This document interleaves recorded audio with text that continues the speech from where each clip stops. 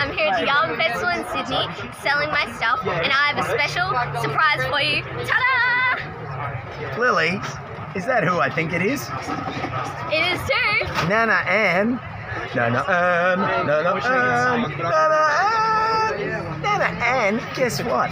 As Lilly said, we're at Yabun Festival, and Lilly is shredding it on her stall, just talking, talking to customers, passing on her amazing work. Look, I bought a hat band, and she told me you're down in the gong, and you are a awesome green thumb. Uh, tomatoes, is it?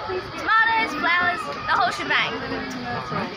Nana Ann and the whole shebang. I can see it. Be a great book. Anyway, we send you lots of love. So we're gonna, what do you reckon? One from you. Yeah. Ready? Catch Nana Ann. See ya. Nice.